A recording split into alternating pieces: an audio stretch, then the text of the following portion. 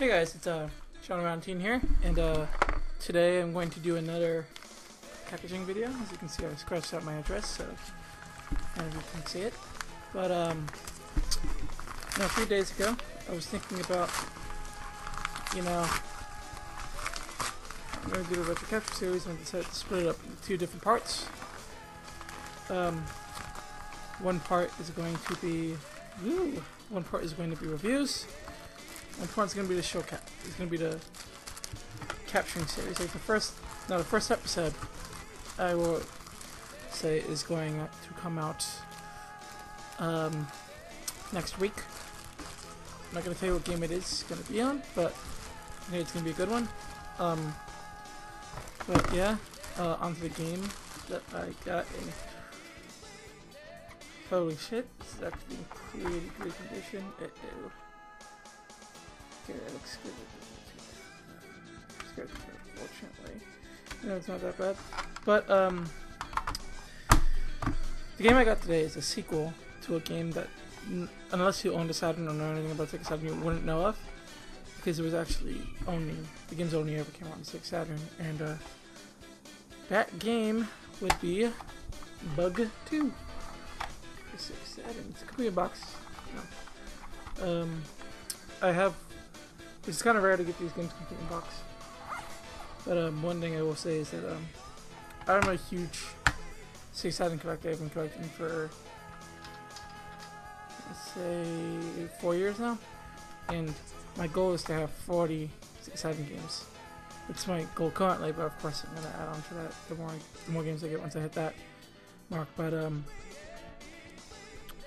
I own a lot of Japanese games for the Sega Saturn because I have an action replay cart and I own a good good amount of uh, boxed North American games, but most of my North American games are out of the box.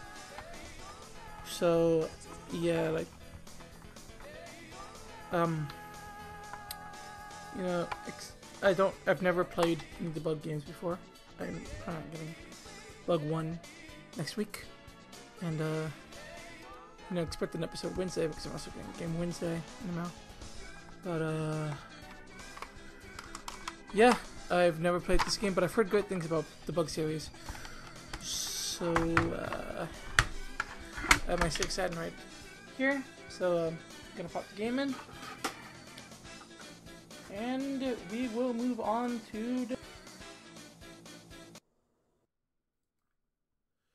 Hey guys, it's um, Sean Valentine here, and uh, you know, moving on to the gameplay portion of the video, obviously. And uh, one thing I would say is, uh, I think I've said this in the first half, but I've never actually played Bug, any of the series before. Um, it's never the series has never been revived and it's never been on any other console. To my knowledge, I think it may have been on PC, but as far as like consoles go, um, the franchise has never seen a revival on another platform before. Uh, up until today, I've never even seen a, bug given. No, that's not true. Uh, I had a chance a long time ago to pick up Bug, but I did not go for it because uh, I had already bought Skies of Arcadia that day. It's con, and that was thirty-five dollars. So I wasn't really willing to spend any more money. I didn't think the guy wanted ten for it, and I don't think I had enough money for it. So, unfortunately, I couldn't get it at the time. Uh, in the, like I said in the, in the first part of this video, I have definitely decided to, uh, you know, get the. I'm getting the second one next week. I mean, I'm getting the first one next week. So, hopefully, you know hopefully I'll be able to do a video on that. I mean, I'm definitely going to do a video on that because I don't have class, which is great. Uh, one thing that I'm sure you've noticed about this game is it kind of has a fisheye lens kind of view to it, where you pull in and forward, and a lot of the gameplay, a lot of the game so far, as far as to my knowledge, is uh, it this way, you'll notice it when you play a lot of the game. And that was, I guess, kind of the unique thing about these about uh Pugga's series is that they kind of did that, and I think an engine. I think originally the engine for this game was gonna actually be used for Sonic X-treme was, which was for any of you who don't know was actually going to be the main Sonic game for the Saturn, but due to it being a bitch to develop, um, it never got done.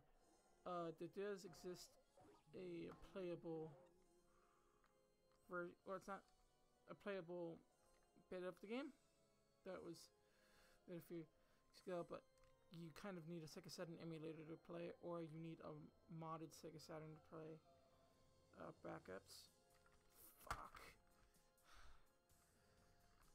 Uh, yeah, as I was saying, kind of need a modded Sega Saturn to be able to play it. Um, keep in mind, I could easily open up my Saturn and just tape down the switch that um, lets you know when there's a disc in the console, but I'm not going to do that because it's way too much time and I don't want to start sticking, sticking things in my Sega Saturn, especially tape, because you never know what could happen. And I'm not going to, maybe for a later video if I ever get the a Sega Saturn emulator properly running, I might look into it, but uh, don't expect me to do it anytime soon because I just honestly don't have the time for that. Um, you know, I'm just going to get past this little part right here because I imagine it's going to be tricky, and I'll just leave you guys with the gameplay. Uh, till next time, guys.